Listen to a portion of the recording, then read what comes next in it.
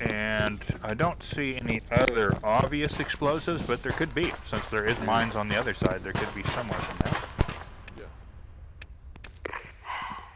¿Qué están esperando? Computadora a la vista. Quedan 30 segundos.